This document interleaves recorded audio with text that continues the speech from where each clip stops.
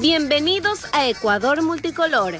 Hoy nos trasladamos a Ciudad Cacao, un lugar donde se realizan elaborados artesanales a base de cacao ecuatoriano, situado en la ciudad de Guayaquil. Pero antes, un baile tradicional a cargo del artista Scarlett Pazmiño y el tema Alborada.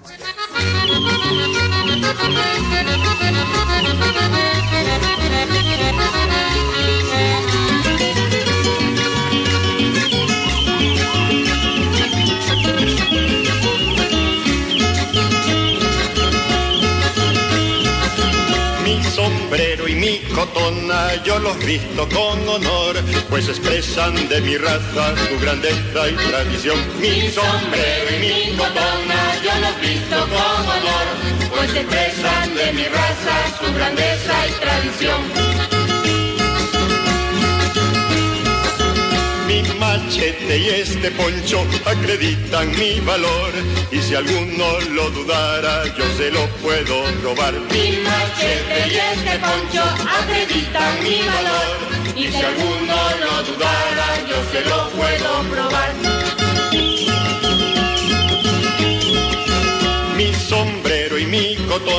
Yo los visto con honor, pues expresan de mi raza su grandeza y tradición. Mi sombrero y mi cotona yo los visto con honor, pues expresan de mi raza su grandeza y tradición. Machete y este poncho acreditan mi valor y si alguno lo dudara yo se lo puedo probar. Mi machete y este poncho acreditan mi valor y si alguno lo dudara yo se lo puedo probar.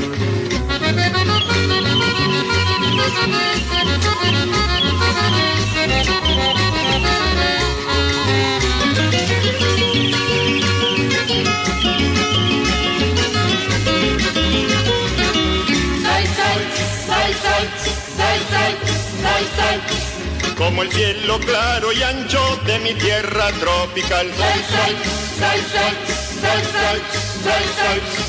como el agua de mis ríos que corriendo alegre van.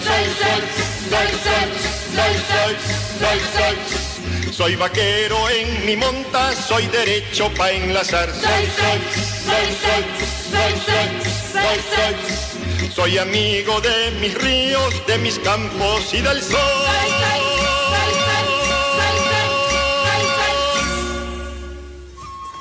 El cacao es una fruta tropical y sus cultivos se encuentran en el litoral y en la Amazonía. Hoy, gracias a la iniciativa y creatividad de la guayaquileña Patricia León y Marcelo Cabrera, pudimos conocer sus elaborados artesanales a base de cacao ecuatoriano.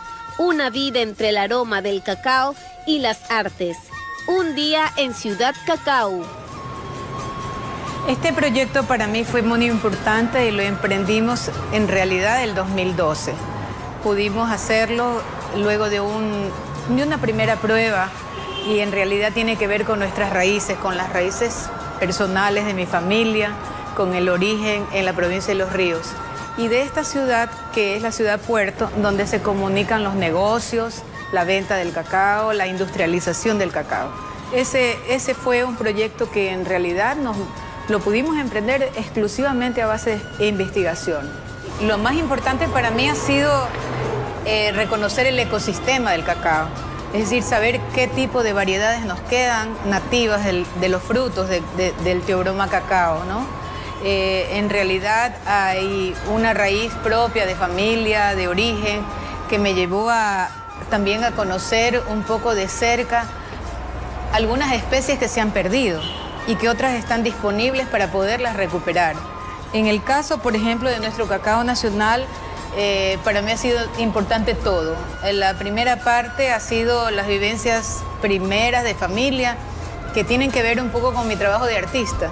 Por ejemplo, el saber por qué el tinte del cacao, cuando está fresco, me permite también trabajar en la pintura, por ejemplo. Esta fue una incorporación que la hice aproximadamente hace unos 12 años. Otra de las cosas interesantes que me ha llevado a conocer el teobroma ha sido eh, el que podemos preparar jaleas, dulces, mermeladas y no solamente el, el grandioso chocolate, aparte de la que conocí a través de, de nuestras culturas ancestrales y también en nuestros grupos aborígenes ha sido el uso del cacao como bebida fresca, ¿no?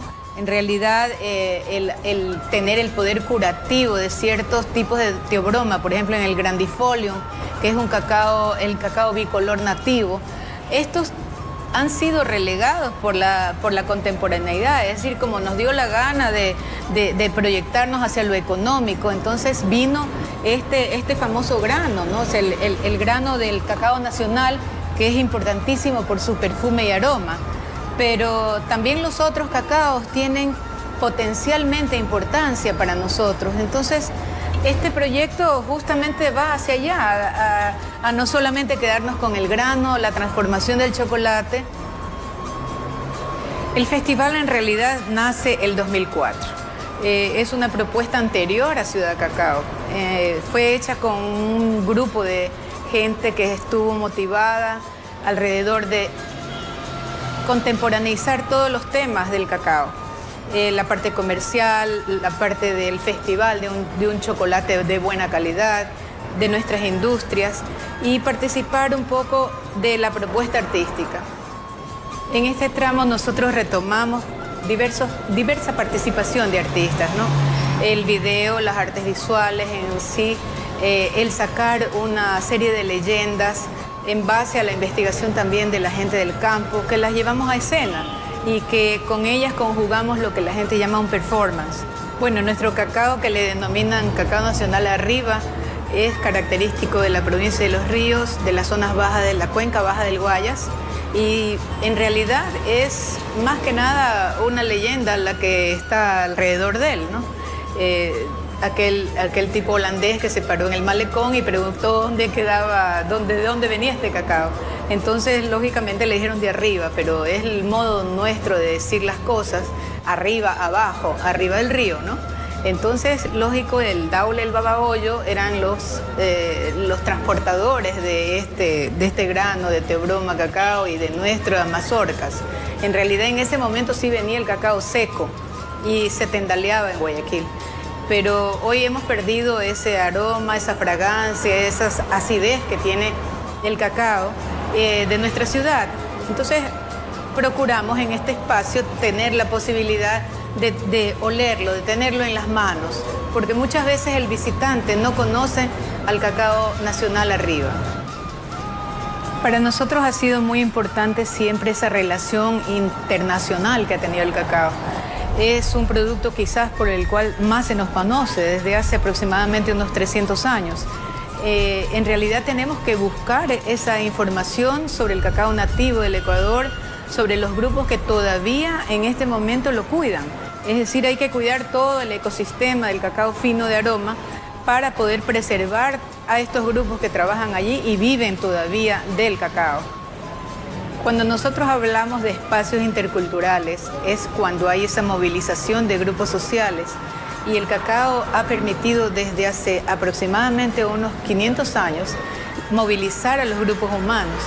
Por ejemplo, el caso de la gente que estuvo en, los túneles amazónicos, en las cordilleras bajas, en los filos de los ríos y produjo un intercambio de, productos que es también intercambio de gente. Bajo ese gran significado, ese gran paraguas, es que nos movemos también nosotros en lo contemporáneo.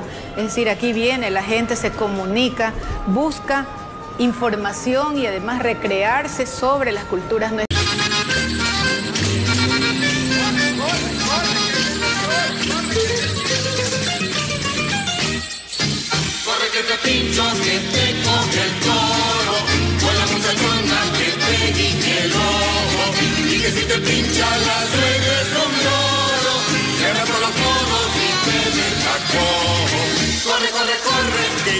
Corre, corre, corre. Que te guiñe el ojo.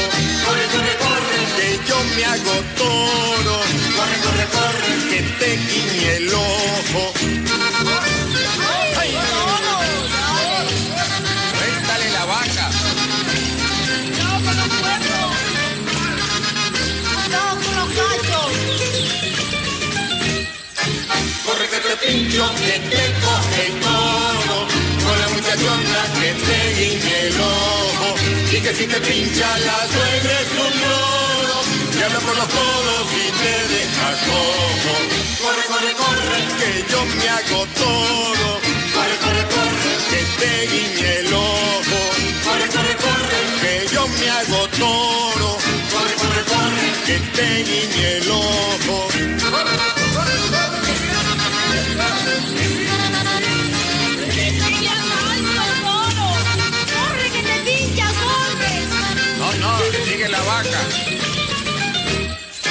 Corre que te pincho, que tengo el toro. Con la muchachona que te el ojo. Y que si te pincha la suegra es un loro. Te habla por los codos y te deja cojo. Corre, corre, corre, que yo me hago toro. Corre, corre, corre, que te. Corre, corre, corre, que yo me hago toro. Corre, corre, corre, que te el ojo. Que yo me hago toro. Corre, corre, corre, que te guiñe el ojo. Corre, corre, corre, que yo me hago toro. Corre, corre, corre, que te guiñe el ojo. Corre, corre, corre, que yo me hago toro. Nosotros estamos acostumbrados a ver siempre los procesos industriales y la verdad es que nosotros acá en este espacio hacemos un taller donde la gente aprende el sistema de todo el manejo artesanal del cacao. Por ejemplo, aquí está el cacao escogido, limpio, seco y que nos, todo esto es cacao nacional. Y entonces le hacemos el proceso para poderlo tostar. Eh, generalmente quienes vienen acá son turistas, familias, niños que pueden aprender muy bien el proceso. No importa la gestión en sí, no es que van a fabricar un chocolate hoy día, pero sí van a conocer el proceso y el manejo artesanal. Entonces, por ejemplo, ahora estamos con, con el tostado, ¿no? Eh, ya está listo y entonces eh, simplemente lo que hacemos es volcarlo hacia un recipiente más fino y así permitimos que esto vaya a ser trabajado inmediatamente y a ser pelado, ¿no? Durante este proceso escogemos realmente cada grano que está aquí ya listo para, el, para podérselo moler y, y- pasarlo a, a un proceso que nos, nos- nos- cada uno aprende a hacer su, su bolita, es decir, cada- lo que llamábamos la mano. Eh, nosotros no hacemos eh, mezcla de sabores porque nuestro cacao en realidad no necesita ser mezclado con vainilla, ni con dulces, ni con pimienta de olor, porque en realidad todo esto, eh, este es el aromatizador natural que tiene nuestro cacao fino de aroma. Justamente por ese es el, el- el- proceso en el que, como ya está tostadito, vamos a moler un poco de- del producto que está acá.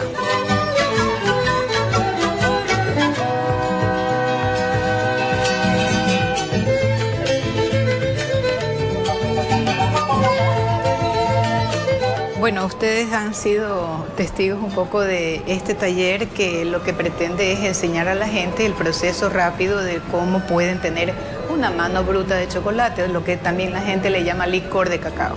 Una vez realizado el proceso del chocolate artesanal, nos dirigimos a otra sala donde pudimos conocer a Marcelo Cabrera, quien nos explicó y enseñó otro proceso, realizando cremas y empaquetado de productos cosméticos elaborados con manteca de cacao. Se conoce de los beneficios de la manteca de cacao desde hace siglos. Y eh, trabajando en el proyecto del cacao era una consecuencia haber obtenido algunos productos que son beneficiosos para la piel. Eh, se ha trabajado en fórmulas, eh, tanto crema para la noche como aceites corporales, que se puede utilizar cuando uno se ha expuesto demasiado tiempo al sol. Otro trabajo que se ha hecho es el de la mascarilla. ¿sí? Esta mascarilla es a la vez exfoliante y humectante. El proceso de trabajo que se ha seguido es eh, primero desde las fórmulas, eh, siguiendo también por el tipo y la evolución de los envases eh, que sean lo más atractivos para, para las personas. Lo último es también la presentación que puede existir y, las variantes. Por ejemplo, eh, tenemos la crema para la noche de manteca de cacao con aceite de oliva. Y otra crema para la noche de manteca de cacao con aceite de almendras. Ya hemos visto cómo es el proceso del chocolate artesanal, además del uso cosmético exfoliante a base de manteca de cacao. Ahora, antes de terminar nuestro programa, compartamos el uso del cacao en la realización de pinturas de arte. Bueno, en mi caso estoy utilizando la baba fresca del cacao. Tengo algunos compinches que me ayudan en el campo para poder hacer este trabajo. Eh, en algunos casos, eh, siempre mis materiales están ligados al soporte, digamos, de, un lienzo, de un lienzo de buena calidad, tratado, al cual le hago a veces unas reservas, como en este caso, porque ya tengo una idea más o menos estructurada de lo que yo quiero hacer del fondo. Eh, al inicio, que fue yo creo que alrededor del 2004, eh, me propuse, luego de haber investigado bien en casa sobre el tema de por qué se, se teñía, digamos, las, las telas, el piso, la ropa de la gente cuando trabajaba en el campo. Entonces, es una percepción que la tuve desde, desde mi niñez, desde mi infancia. Entonces, se me ocurrió en esa etapa de crear un, un soporte interesante. Entonces, yo empecé con las toldas eh, las toldas que empacaban al cacao fresco cuando se lo llevaba las árguenas, ¿no? que se le llamaba en el campo, para cargar el cacao fresco después o en el proceso de la fermentación. Entonces luego lo tiraban en el tendal y esas marcas a mí me apasionaron. Bueno, entonces empecé, hice los muebles, hice unas composiciones que ustedes las pueden ver acá. Eh, es mi interpretación entre lo abstracto y de esa de esa geografía propia que, cada autor puede tener, ¿no? En mi caso, bueno, yo no, yo no, yo no puedo decir si es lo mejor o lo peor, pero es, es, un, es un trabajo personalísimo. Entonces, esta mancha que va dejando luego es tratada para que se pueda imprimar correctamente. Eh, acá está, por ejemplo, el, el trabajo ya terminado. Yo estoy haciendo pequeños formatos de una serie que va ligada a los pisos vegetales, que a mí me parece la, como la parte más importante de los procesos del cacao. Eh, eh, ¿qué, es lo que, ¿Qué es lo que pasa? La gente está preocupada del grano, está preocupada del medio ambiente, de la gente que trabaja, de cuánta plata va a sacar. Y, y, en mi caso, pues yo estoy preocupada desde el piso vegetal, de la riqueza que yo encuentro como artista en esto. Aquí está la serie, por ejemplo, Pisos Vegetales. Esta está integrada con con la primera con acrílicos y la tinta del cacao, que ustedes la pueden percibir de atrás.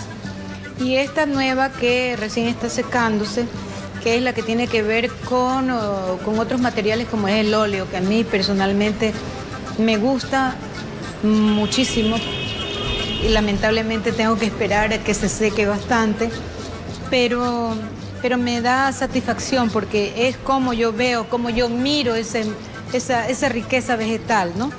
Entonces, eh, hay animales, marcas eh, sorprendentes del agua, los, los, los murciélagos, porque todo eso gira alrededor de la fauna y flora del cacao. Hoy conocimos Ciudad Cacao, sitio ubicado en la avenida 9 de octubre, en el centro de Guayaquil es donde Patricia León y Marcelo Cabrera comparten sus conocimientos sobre el cacao, lugar donde también se dictan talleres y se proyectan videos relacionados con el mundo del cacao, además de servir como un lugar para actividades artísticas y